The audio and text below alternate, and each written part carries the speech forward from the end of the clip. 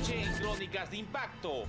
Después de seis horas de viaje desde Huánuco y a casi 4.000 metros de altura, vamos a mostrarles lo que sería la primera ciudad de los gentiles.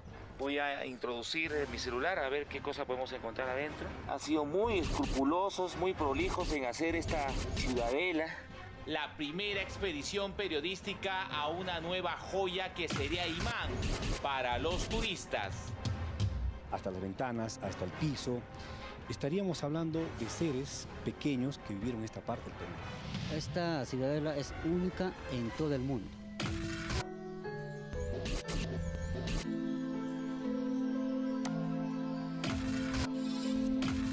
Un viral nos llamó la atención, no lo podíamos creer.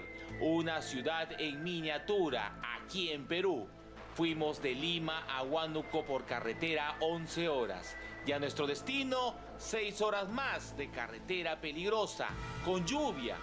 Pero con la gracia de Dios llegamos a nuestro destino. Nos encontramos en el centro poblado de Carhuapata, en la provincia de la Unión, en el departamento de Huánuco, porque vamos a ser testigos de un descubrimiento, no se sabe si arqueológico o paranormal. Vamos a encontrarnos con unos expertos para que nos descifren lo que sería la famosa ciudadela de los gentiles. Síganme. Hola Cristian, buenas, buenas. Eres el amigo Manuel Llanos, eres un periodista investigador de fenómenos paranormales, muy conocido acá en Huánuco, tiene su programa de televisión. ¿Cómo se llama tu programa? OVNIS TV. ¿A quién tenemos aquí, Manuel? A Levi, Levi, el, el amigo que nos va a enseñar las maquetas, o lo que podría decir la Casa de los Duendes, ¿no? Que estamos en, en estos momentos llegando después de seis horas de viaje. Babi Trujillo, que él, él es uno de los descubridores. Explícanos qué cosas son los gentiles. La tradición de los antiguos dice que en esta parte del Perú, de la parte de la región Huánuco, existían seres pequeños llamados gentiles. Y justamente vamos a ir a ver lo que podría ser la respuesta a la pregunta, ¿quiénes eran los gentiles y dónde vivían? ¿no? Manuel Llanos, abogado de profesión, omniólogo, incansable investigador de fenómenos paranormales, es nuestro guía. Le tildan de loco, pero él no hace caso. ¿Desde cuándo tienes afición por este tipo de temas?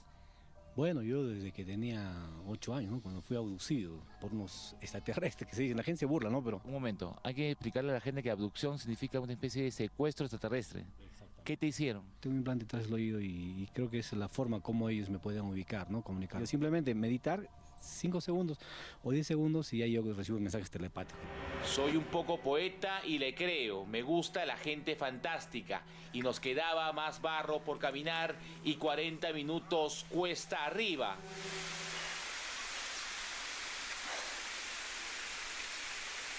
Hemos venido tantas horas de viaje y ustedes saben, cuando se llega a una casa se saluda, se pide permiso, ¿no? La Pachamama sabe que estamos acá, hemos venido con, buenas intenciones. Vamos a continuar nuestro, nuestro camino, nuestro camino para, para llegar a la maqueta, ¿no? Estaba rica la coca y me sorprende la cantidad de cuarzo en el camino. Muy típico en lugares donde vamos a visitar.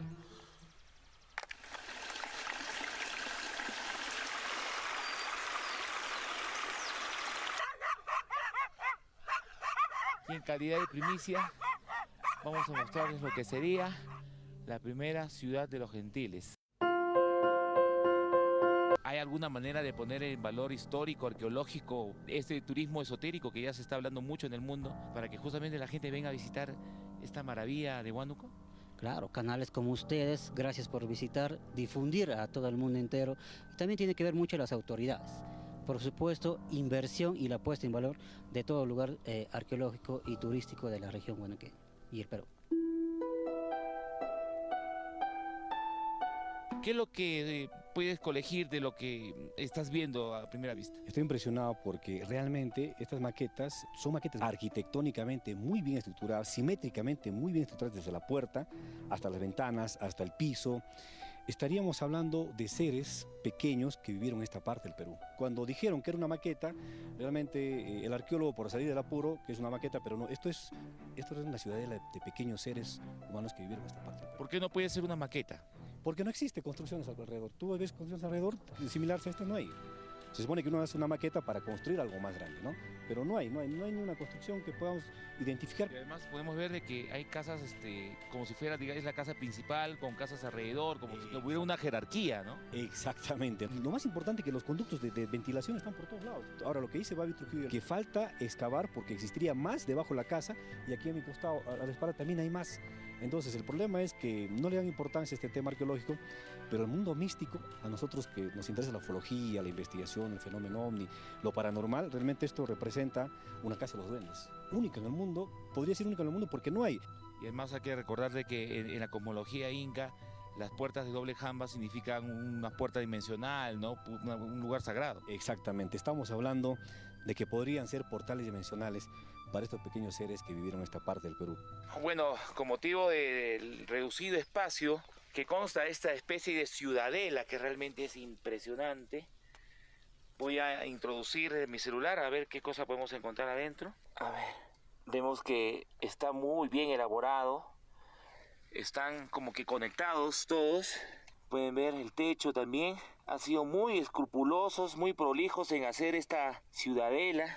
Podemos ver la calidad de las piedras. Parece que hubieran hecho, sido hechos con manos pequeñas. Miren la calidad de las piedras. Es impresionante, ¿no? La simetría con que han trabajado. Es un tesoro que Huánuco tiene que rescatar para el mundo.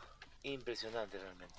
Maquetas preincas, casitas de muñecas, ciudad de duendes, hasta corral de cuyes. Se ha dicho de todo en esta zona de Auquipampa, pero lo importante es poner en valor este sitio para bien de tanto hermano en pobreza que vive en esta zona de Huánuco. ¿Y usted qué opina?